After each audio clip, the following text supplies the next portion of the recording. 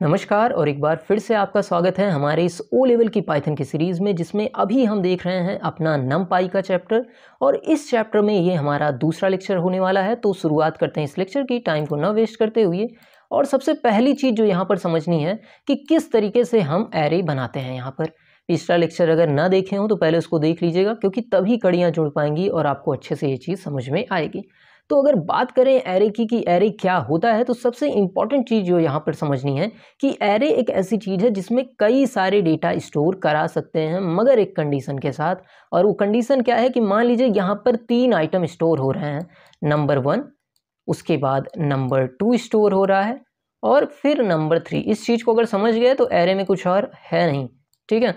और ये तीनों एलिमेंट जो स्टोर हो रहे हैं कंडीशन क्या है? इसका डेटा टाइप सेम होना चाहिए। ऐसा नहीं कि पहला आपने इंटीजर सेव करा दिया, दूसरा स्ट्रिंग सेव करा दिया, तीसरा कैरेक्टर ऐसा नहीं होना चाहिए।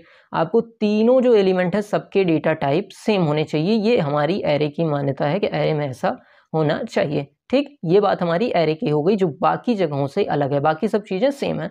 तो बात करते हैं एरे को कैसे बनाया जाता है? तो यहाँ पर देखिए एक एग्ज़ाम्पल लिया है। Import NumPy as N P use किया गया है, ये पिछले लेक्चर में हमने देखा था। उसके बाद यहाँ पर देखिए हमारा एरे बनकर तैयार हुआ है और फिर हमने एरे को प्रिंट कर दिया है। अगर बात करें कि किस तरीके से एरे का हम टाइप चेक कर सकते हैं तो यहाँ पर हम टाइप के साथ उसका टाइप प्रिंट करा सकते हैं। बहुत आसान चीज़ है। एक चीज़ और याद रखिए कि यहाँ पर अगर बात करें कि क्या चीज़ें पास की जा सकती हैं, देखिए यहाँ पर लिखा है to create an N D array we can pass the list tuple और एनी एरे लाइक ऑब्जेक्ट मतलब यहाँ पर ऐसा नहीं आप लिस्ट या टपल भी पास कर सकते हैं या कोई भी एरे जैसा ऑब्जेक्ट पास कर सकते हैं, कोई इसके लिए मना ही नहीं है। यहाँ पर देखिए, यहाँ पर ये ब्रैकेट आपका ये वाला लगा हुआ है। इसके कारण जैसे एरे जब पास कराते हैं तो ये ब्रैकेट लगता है, लेकिन यहाँ पर देखिए टपल पास करा दिया गया है। तो टपल भी आप पास कर सकते हैं, कोई ऐसी बंदिश नहीं है। एक बार इसको रन कर कर देखते हैं किस तरीके से इसे रन करना है। तो यहाँ पर देखिए सेम कोड हमने लिख लिया है जो वहाँ पर पढ़ा था हमने। अब इसको रन करा कर देखते हैं कि बाकी आता क्या है। यहाँ पर समझिए कि एरे में कौन से एलिमेंट्स हैं तो वन से लेके फाइव तक एलिमेंट है। और उसके बाद हमने एरे को प्रिंट कराया फिर टाइप को प्रिंट कराया दो चीज़ प्रिंट होनी चाहिए। पहले एरे आ जाना चाहिए, उसके बाद उसका टाइप आना चाहिए। कोई समस्या नहीं होगी। चलिए देखते हैं, इसको रन करा दिया हमने और यहाँ पर जब रन कराया तो आउटपुट देखिए सबसे पहले वन टू थ्री फोर आया दैट इज़ एरे जो हमारा एरे ये लाइन लिखी गई है प्रिंट करो एरे को, इसका ये आउटपुट है। उसके बाद जब हमने टाइप प्रिंट कराया तो यहाँ पर देखिए class NumPy dot N D array हमारा टाइप भी प्रिंट होके आ गया है। बहुत सिंपल चीज़ है, कुछ भी नहीं करना है। आगे की तरफ़ बढ़ते हैं और देखते हैं हमारा अगला पॉइंट क्या है। तो इसके बाद बात की गई है डायमेंशन इन एरे में। डायमेंशन इन एरे का मतलब क्या होता है? देखिए धीरे धीरे एक एक डायमेंशन हम पढ़ेंगे और उसके बाद हम समझ जाएँगे डायमेंशन इन एरे क्या होता है। अब देखिए, कोई अगर ऐसा एरे हम बना रहे हैं जिसमें एक ही एलिमेंट है तो उसे ज़ीरो डी एरे हम कहते हैं। यहाँ पर देखिए ज़ीरो डी एरे की बात हो रही है और इसमें एक ही एलिमेंट अगर होता है तो उसे हम क्या कहते हैं? ज़ीरो डी एरे कहते हैं। एक साथ हम सबको ख़त्म करेंगे, फिर सबका प्रैक्टिकल देखेंगे। अब अगर कोई बात करना चाहे वन डी एरे की तो वन डी एरे क्या होता है? देखिए, यहाँ पर डिस्कस किया गया है। An array that has zero D array and its element is called unidimensional और वन डी एरे मतलब इसमें आपका ज़ीरो डी एरे हो और उसके जो एलिमेंट्स हैं, उसे वन डायमेंशनल एरे कहते हैं। कुल मिलाकर यहाँ पर देखिए, जो समझने वाली चीज़ है, बहुत आसान चीज़ बताता हूँ। देखिए, ये यहाँ पर एक ब्रैकेट खुला और यहाँ पर एक ब्रैकेट बंद हुआ। इसका मतलब ये क्या है? ये वन डी एरे है। समझ गए? अगर यही दो ब्रैकेट खुला होता और दो ब्रैकेट बंद होता तो इसे आप टू डी एरे कहते। आगे अभी देखेंगे तो समझ जाएँगे। इस तरीके से आप समझ लीजिए। वैसे आसान भाषा में इसकी डायमेंशन एक ही है। देखिए, सिर्फ़ एक डायमेंशन में ये स्टोर हो जाएगा। तो इसे आप क्या कहेंगे? वन डी एरे कहेंगे। यहाँ पर देखिए, एक डायमेंशन में ये स्टोर हुआ है तो इसे वन डी एरे कहते हैं। ठीक? टू डी एरे देखते हैं क्या होता है। तो टू डी एरे की अगर बात की जाए तो यहाँ पर देखिए टू डी एरे का एग्ज़ाम्पल लिया गया है। और यहाँ पर जो चीज़ मैंने ब्रैकेट से बताया कि यहाँ पर देखिए पहला ब्रैकेट ओपन हुआ और फिर दूसरा ब्रैकेट ओपन हुआ। अब दो ब्रैकेट ओपन हो रहे हैं मतलब दो डायमेंशन में डेटा स्टोर हो रहा है तो इसे टू डी एरे हम कहते हैं। यहाँ पर देखिए, पहला ये हो गया और दूसरा ये हो गया और ये हमारा टू डी एरे है। जैसे लेंथ और ब्रेथ होती है तो उसको हम टू डी कहते हैं। यहाँ पर भी इसी तरीके से ये टू डी एरे है। समझ गए इस बात को? और थ्री डी एरे होगा तो उसको किस तरीके से आप पहचानेंगे? समझिए इस चीज़ को। थ्री डी एरे होगा तो उसमें तीन डायमेंशंस होंगी। यहाँ पर देखिए, समझिए इस चीज़ को। ये हमारा जो पहला ब्रैकेट खुला हुआ है, ये हमारा एक वन डी हो गया। समझ रहे हैं? जो ये पहला ब्रैकेट है, यहाँ से लेके यहाँ तक हमारा वन डी एरे हो गया। उसके बाद ये जो दूसरा ब्रैकेट खुला हुआ है, मैं यहाँ पर इसकी लाइन थोड़ी सी लंबी कर रहा हूँ, फिर से मिटा के चलिए। ये हमारा पहला ब्रैकेट दिख रहा है, ये जो ब्रैकेट यहाँ से खुला हुआ है और यहाँ पे ख़त्म हुआ है और फिर यहाँ से खुला हुआ है और यहाँ पे ख़त्म हुआ है। ये हमारा टू डी एरे है। और इसी के अंदर ये जो तीसरा ब्रैकेट खुला हुआ है, ये देखिए हमारा थ्री डी एरे है। ठीक है? नीचे की तरफ़ जो सबसे बड़ी लाइन है, वो टू डी एरे है। छोटी वाली लाइन थ्री डी एरे है। और ये जो सबसे बाहर वाली लाइन है, ये हमारी थ्री डी एरे है। ये कौन सी है हमारी? थ्री डी एरे हो गई। उसके बाद ये जो नीचे वाला ब्रैकेट हमने सेलेक्ट किया है, ये हमारा कौन सा हो गया? टू डी एरे हो गया, ये भी हमारा टू डी एरे दर्शा रहा है। और फिर ये जो बीच वाला ब्रैकेट है, ये हमारा कौन सा है? थ्री डी एरे है। इस फिगर को मन करे एक सेकंड रोक के समझ लीजिए, कैसे हमने एरे के डायमेंशंस को डिसाइड किया है। बहुत आसान तरीका मैंने ये ढूंढा कि इस तरीके से आप समझ सकते हैं ब्रैकेट्स के हिसाब से, ठीक? थ्री मतलब जिसके तीन डायमेंशन हो, तीन डायमेंशन में स्टोर हो, उस टाइप का एरे और निकालना तो मैंने समझा ही दिया। देखिए, एक बार फिर से चलिए, समझ ही लेते हैं इस चीज़ को। देखिए यहाँ पर ये हमारा ब्रैकेट शुरू हुआ और ये ख़त्म हुआ। ये हमारा कौन सा एरे हुआ? वन डायमेंशन एरे हुआ। फिर बात आती है टू डी एरे की। तो टू डी एरे में अगर मैं सेलेक्ट करके दिखाऊँ, देखिए ये ब्रैकेट यहाँ पे शुरू हुआ और यहाँ पर ख़त्म हुआ।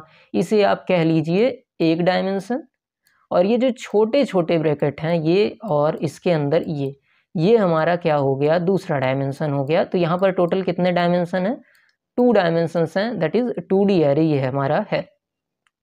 ये चीज़ समझ में आई। इसके बाद अगर आगे की तरफ़ बढ़ें और बात करें कि सर थ्री डी एरे क्या होता है तो यहाँ पर मैंने समझाया किस तरीके से थ्री डी एरे है। ये हमारा बाहर वाला ब्रैकेट हो गया वन उसके बाद ये जो ब्रैकेट है, ये सेकेंड डी हो गया। ये ब्रैकेट हमारा सेकेंड डी हो गया। और अंदर अंदर जो छोटे छोटे पार्ट्स बने हुए हैं, ये हमारे थ्री डी एरे हो गए। बहुत आसान चीज़ है, अगर आप इस चीज़ को समझ गए हैं तो आसानी से भी आप एलिमेंट्स भी निकाल लेंगे। समझ में आए ये चीज़ अगर समझ गए होंगे तो एलिमेंट्स निकालना समझ लीजिए, चुटकियों का खेल है, दो नंबर आपके बन चुके हैं।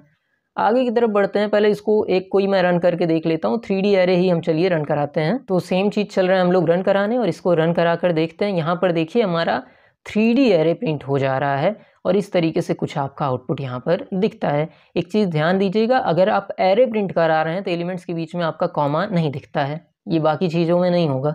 अगर एरे प्रिंट हो रहा है तो यहाँ पर कॉमा नहीं दिखता है। ये एरर में पूछा एमसीक्यू में मतलब पूछा जा सकता है। इस चीज़ को थोड़ा ध्यान से देखिएगा। आगे की तरफ़ बढ़ रहे हैं। इसके बाद हमारा अगला टॉपिक है कि अगर हमें डायमेंशंस को चेक करना होगा नंबर्स के तो किस तरीके से चेक करेंगे? तो उसके लिए N D I M use करते हैं। स्पेलिंग ध्यान से देखिएगा, अभी इससे मिलती जुलती एक और स्पेलिंग आपको सामने पढ़ने वाली है। तो एन डी आई एम के द्वारा हम क्या चीज़ चेक कर सकते हैं? हम एरे के डायमेंशन को चेक कर सकते हैं। तो चलिए सेम प्रोग्राम को कॉपी पेस्ट करते हैं और रन करा कर देखते हैं। चलिए तो ये हमारा प्रोग्राम कॉपी पेस्ट हो गया। पहले खुद से समझ लेते हैं। यहाँ पर देखिए कितने आपको डायमेंशन दिख रहे हैं। तो यहाँ पर आपका है ज़ीरो डायमेंशन ठीक?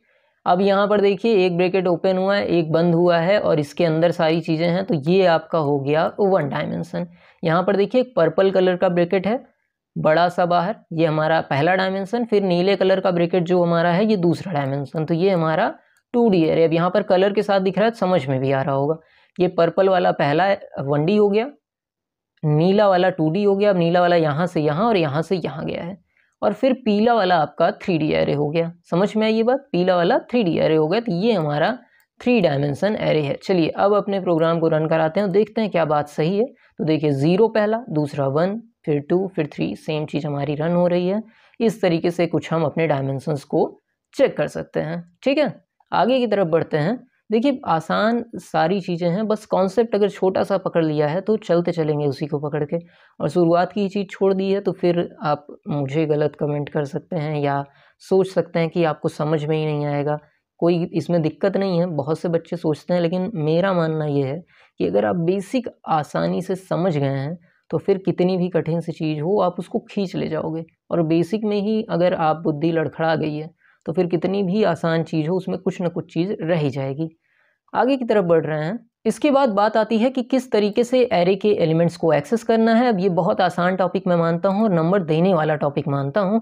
अब यहाँ पर एरे बन गया है और A double R zeroth element को एक्सेस किया जा रहा है। तो यहाँ पर मैं बना रहा हूँ यही सेम एरे ठीक है? यहाँ पर चार एलिमेंट्स हैं तो मैं चार बॉक्सेस बना लेता हूँ।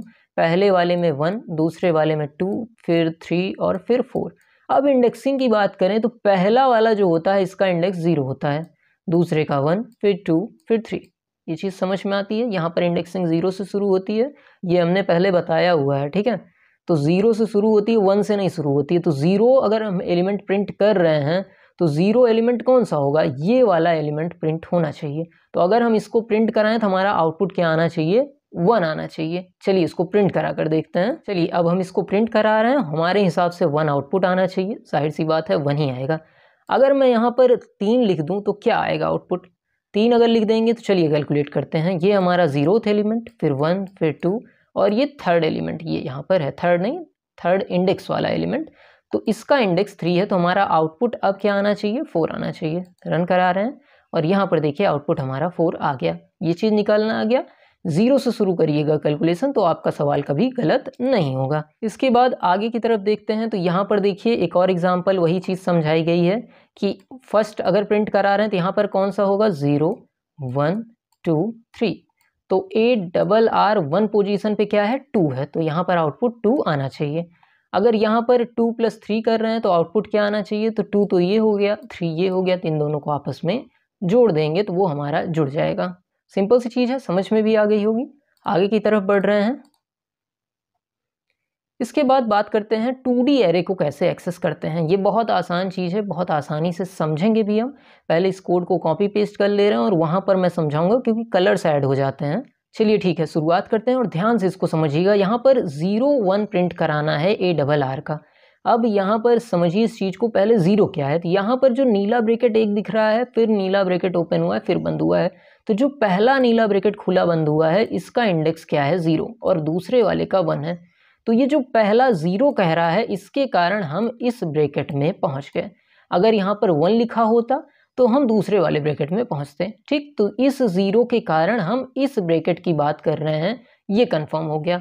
अब वन का क्या मतलब है? वन का मतलब है इसमें का वन। अब जैसे कि मैंने आपको समझाया, यहाँ पर ज़ीरो से कैलकुलेशन शुरू होती है तो पहला वाला ज़ीरो हो गया। दूसरा वाला वन हो गया। तो ज़ीरो वन का मतलब यहाँ पर टू जो है वो प्रिंट होना चाहिए। चलिए इसको प्रिंट करके देख रहे हैं हम लोग।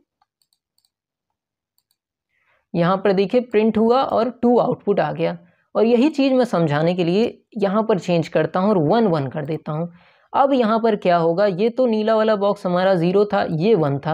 अब वन के अंदर का वन इंडेक्स का एलिमेंट तो वन तो ये हो गया। इसके अंदर फ़र्स्ट पोजीशन पे क्या है? वन नंबर पे क्या है? सेवन है। तो यहाँ पर हमारा सेवन प्रिंट हो जाएगा। यहाँ पर देखिए सेवन प्रिंट हो चुका है। आसान सी चीज़ है कि नहीं? समझ में आ गया होगा ये चीज़ मेरे ख्याल से ना? इस तरीके से कुछ निकाल सकते हैं। थ्री में भी सेम चीज़ होगी। चलिए करके देख लेते हैं अभी। तो ये तो टू वाला था, ये तो समझ में आ गया होगा। ये एग्ज़ाम्पल एक और दिया गया है। चलिए वन फोर कहा गया है, इसको निकाल के दिखाइए। तो ये तो हमारा हो गया ज़ीरो और ये वाली पूरी लाइन हो गई वन ठीक है? अब इसके अंदर फोर पे कौन सा है? तो ये ज़ीरो हुआ वन हुआ टू हुआ थ्री हुआ फोर ये हमारा टेन प्रिंट हो जाएगा यहाँ पर। किस तरीके से प्रिंट हुआ? रिपीट करके देख लीजिएगा, नहीं समझे हो तो। इसके बाद बात करते हैं थ्री एरे की थ्री एलिमेंट्स में एरे एक्सेस करने की। अब इसको चलिए फिर कॉपी करके पेस्ट करते हैं और वहीं पे समझते हैं कैसे इसको किया जाएगा। चलिए ध्यान से इस चीज़ को समझिएगा और एकदम आराम से मैं समझा ले जाऊँगा आपको। अब इस चीज़ को हमको प्रिंट कराना है। यहाँ पर मैं थोड़ा सा स्पेस दे दे रहा हूँ ताकि मैं कुछ किच पिच करूँ तो वो समझ में आए। ठीक है? इसको थोड़ा सा समझाने के लिए ऐसे रख रहा हूँ मैं। अब चलिए बनाते हैं इस चीज़ को। तो ये जो हमारा पहला ब्रैकेट है, ये हमारा हो गया ज़ीरो। और दूसरा ब्रैकेट जो हमारा है, ये हो गया हमारा वन। अब यहाँ पे बात की जा रही है ज़ीरो की। तो ज़ीरो मतलब हमें इसी रेंज में रहना है, इससे हमें कोई मतलब नहीं है। अब पहले की बात की जा रही है तो यहाँ पर दो पीले ब्रेकेट आपको दिख रहे होंगे। पहला वाला ज़ीरो पे है और दूसरा वाला वन पोजीशन पे है, ठीक? तो किस वाले पीले ब्रैकेट की बात हो रही है? तो यहाँ पर वन वाले मतलब इस वाले पीले ब्रैकेट की बात हो रही है। चलिए, अब यहाँ पर भी इस ब्रैकेट के अंदर कौन सा एलिमेंट है? दो इंडेक्स वाला एलिमेंट। तो इसका इंडेक्स क्या है? ज़ीरो है। इसका इंडेक्स क्या है? वन है। और इसका इंडेक्स क्या है? दो है। तो यहाँ पर अगर हम इसको रन कराएँ तो हमारा छः आना चाहिए। और रन करा कर देख रहे हैं तो यहाँ पर छः हमारा आउटपुट भी है। बहुत आसान चीज़ है। समझ गए होंगे? सबसे पहले बाहर वाला ब्रैकेट देखा कि ये हमारा ज़ीरो है, ये वन है। उसके बाद ये ज़ीरो आया, ये वन आया और इसके अंदर सेकेंड पोजीशन पे ये है। कुछ इस तरीके से हम इस चीज़ को रन करा सकते हैं।